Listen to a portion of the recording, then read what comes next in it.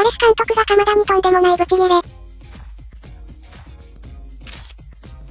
パレスの専門サイトイヤーパレスは39分に第一鎌田は何をしたのか、オリバー・グラスナー監督は激高と題した記事を掲載。後半は大幅に調子を上げたが、39分に監督を激怒させたと伝えている。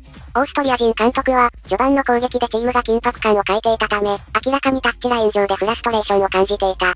そして、39分に鎌田が問題に巻き込まれて可能性のあるカウンター攻撃を無駄にした後、怒りが爆発した。カウンターのチャンスで相手に囲まれ、後ろにパスをしてしまったシーンが気に入らなかったようだ。このプレイは FW や SB のスプリントを無駄にする。鎌田のバックパスは改善するべきだと前から思ってた。代表戦でもカウンターのチャンスでリスクを負わずにバックパスを選択するケースが多い。南野のようにボールを受けて前を向くプレーを心がけてほしい。バックパスはファーストチョイスにしないでいいと思う。鎌田だけじゃない。バックパスは日本人の悪い癖みたいなものだ。オリーゼの役割をそのまま鎌田に当てはめた今の形が機能しているようには思えない。他の選手の方がもっとミスパスでチャンス潰してたぞ。エゼが守備サボるから鎌田一生懸命守備していたと思うが。強度の高い試合でなんとか持ちこたえた感じだった。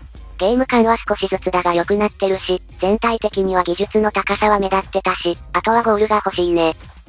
それでも使ってくれる時点で信頼関係があるのがわかる。いい監督に恵まれたね。ただこれで勝てなくなるときつい。監督の首が飛んだら元も子もない。あのシュート決めて欲しかったな。